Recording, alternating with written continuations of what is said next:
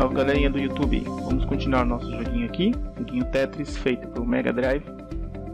Ok, vou mostrar como a gente deixou o nosso projeto. Belezinha, tá aqui o nosso cenário, nossa peça. Bacana, vamos continuar aí. Eu vou substituir a chamada aqui da label fundo por uma nova label, vai chamar pieces. A gente vai estar tá organizando aí as nossas peças, né? Dando forma para elas.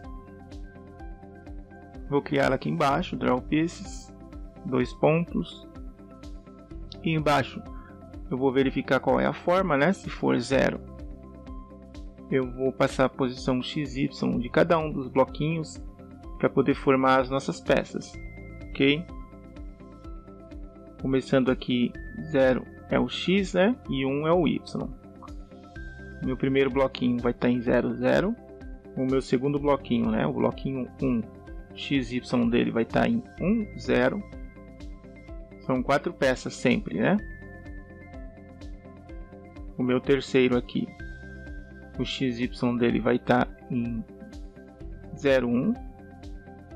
E o último, vou colocar aqui embaixo, que é o 3, né? O XY dele vai estar tá em 1, 1. Deixa eu mostrar aqui um exemplo. A gente já fez isso no Paint, né? XY 0, 0 ele fica no comecinho, 1, 0 ele vai para a direita, né? 0, 1 ele vai para baixo e 1, 1 ele vai para direita e para baixo. Então a gente vai formar nosso bloco, né? A primeira peça do Tetris. Finaliza aqui com return. A gente já chamou ela. Agora eu tenho que passar as posições x, y para nossas peças, né? Todas as quatro. Vai ser o x mais o SR e o y mais o SR. Vamos testar? Belezinha. Só que tem um problema, né? a gente está empurrando um pixel. Se a gente quiser pular um sprite, nós vamos ter que multiplicar tudo por 8. Bem simples, né? Lembrando que a gente tem que pôr entre parênteses é a sintaxe do Basic. E vamos testar. Joinha, agora funcionou. Já temos a nossa primeira peça aí. Bom, se eu quiser movimentá-la para a esquerda, para a direita, para poder ajustar, eu só adiciono mais o valor que eu quero aqui. No caso, 32 para o X. Tá vendo? Ela anda para frente. Eu vou colocar aqui 48 para o Y. Ela vai descer um pouco, ok? Bom, agora eu vou trocar de forma. A gente vai fazer a próxima. A gente vem aqui no Draw Pieces, else if, se a forma for 1, então eu vou colocar aqui as novas posições, né? A gente ganhar tempo. O A, o XY dele vai ser 1, 0, ele vai estar tá à direita. O B, ele vai estar tá em 1, 1, vai estar tá à direita e para baixo, uma para baixo. O C vai estar tá em 0,2. Ele vai estar tá à esquerda e duas para baixo. E o último 3 aqui, ele vai estar tá à direita e duas para baixo. Bacana? Dá para ver que a gente formou o J, né? Deixa eu remover para não dar erro. E vamos testar. Joia, joia. Tá aí o nosso formato novo. Eu vou colar o próximo aqui. Vou explicar esse último aqui para a gente fixar, né? O XY é 0, 0, fica ali no cantinho. Nosso B ali, o XY dele, vai em 1, 0. 1 para a direita. O nosso terceiro vai ficar em 2, 0, na mesma linha, só que 2 para a direita. E a nossa última vai em um 1, um para baixo e um para a direita. A gente forma o nosso T, né? Aqui é forma. Deixa eu colocar aqui em 2. Tá aí o nosso formato. Bacaninha. Joia, né? Deu para entender, né? Então eu vou colar os demais, colocar todos aqui. E a gente vai estar tá só alterando. Temos aqui o nosso 3, o 4, que é o contrário, é o Z, o S, o quinto, que é o nosso L, e o último, que é o bastão, né? O pessoal chama de. Bacaninha?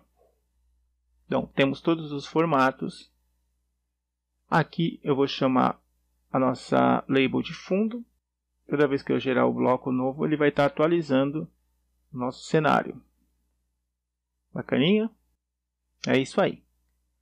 Bom, agora a gente vai dar movimento para nossas peças, né? Vamos estar puxando ela para baixo.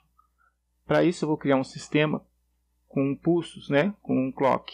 Criar uma variável aqui chamada de clock, vai ser o nosso reloginho. E aqui embaixo no laço while ele vai estar sendo incrementado, né? Clock mais mais. Ele vai contar 1, 2, 3. Quando ele passar de 20, for maior ou igual a 20, ele volta a ser zero para ele poder contar outra vez. E toda vez que acontecer isso, ele vai empurrar a nossa peça um sprite para baixo, ok? O 1, né, que é a posição y, vai estar tá ganhando 1, mais mais. Belezinha? Finaliza aqui o laço for com next, finaliza o if com end if. Vamos testar para ver? Joia, joia. Está funcionando aí nosso sisteminha de clock. Se eu quiser aumentar a velocidade, eu venho aqui e divido aqui por 2, né? Colocar em 10. Aí ele vai mais rápido, ok? Isso aí, deixa eu voltar como estava antes.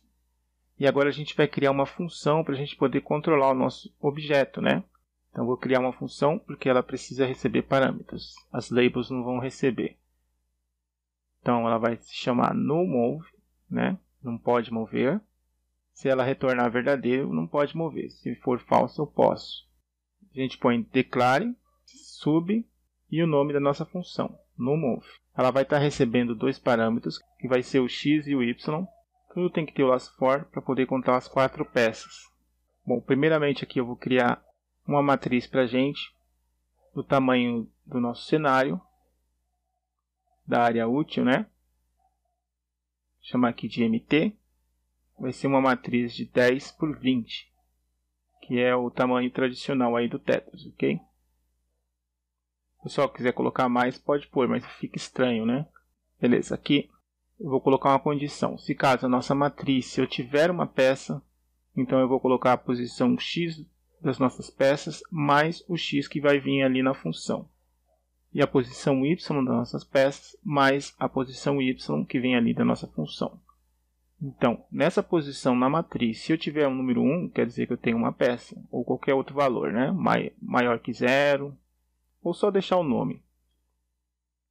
Mas também eu vou colocar ou, se a posição x do nosso personagem for maior que o comprimento da tela, né? que são 9 blocos, são 10, né? porque o zero também conta. Então também vai retornar que eu não posso mexer, ok? Porque a nossa matriz aqui é de 10 por 20. Eu também vou verificar a posição y, se ela for maior que 18, quer dizer 19, né?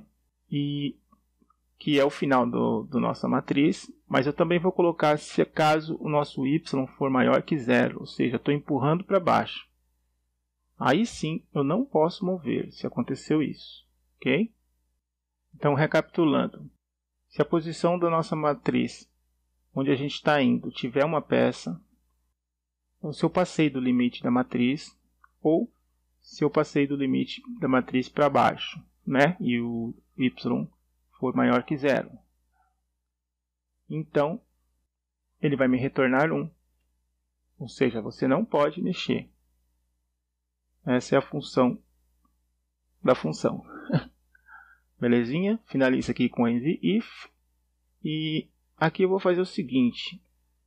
Eu vou estar tá movendo a minha peça para a direção que eu quero mover, né? No caso ali, se eu enviei 1 para x, ele vai ter que estar tá indo 1 para a direita.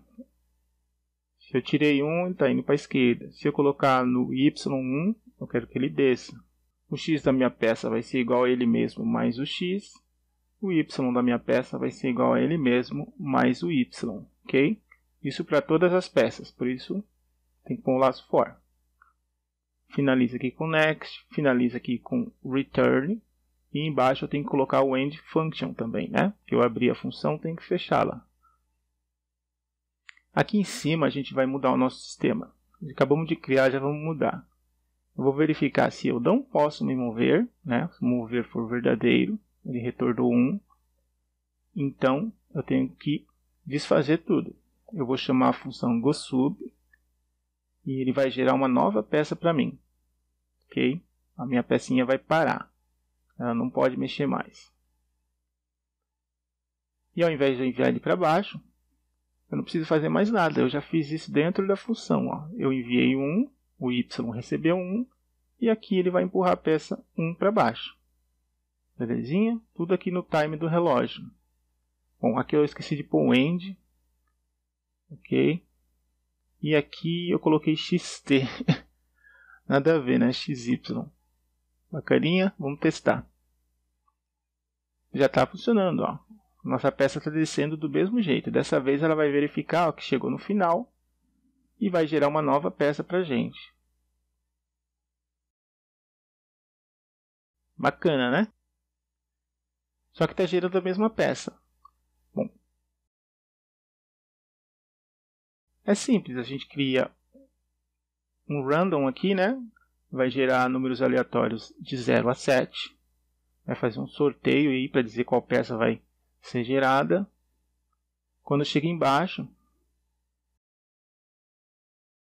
ele vai gerar uma próxima peça. Eu vou colocar um outro random aqui dentro do draw pieces. Vai gerar um sorteio entre 7 novamente. Então vamos testar para ver. Então ele sorteia na hora de sair e sorteia quando chega lá embaixo.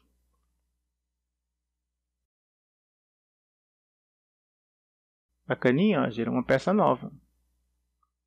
Só que essa peça é fantasma, ela não está mais aqui, né? Só o gráfico dela que está aí. Quando eu gerar a mesma peça, ela some. Lembrando que a gente tem sete peças, né? A gente vai ter que tratar isso mais para frente, porque é o seguinte, tem um problema. Tem uma moto que é um problema. Bom, o problema parou, então vamos continuar. O número máximo de sprites que eu posso ter no Mega Drive são 80. 80 sprites ao mesmo tempo. Ok? E o Tetris ele tem mais que 80. São 10 vezes 20, 200 sprites. Como é que eu vou fazer para poder gerar todos esses sprites ao mesmo tempo? Bom, isso aí a gente vai fazer no próximo tutorial, né? Vamos estar tentando quebrar a limitação de número de sprites do Mega Drive, ok? Quem gostou, dá um like aí. Espero que o pessoal tenha gostado. Vamos fazer em casa. E inscrevam-se aí no canal, galera. Até a próxima. Valeu!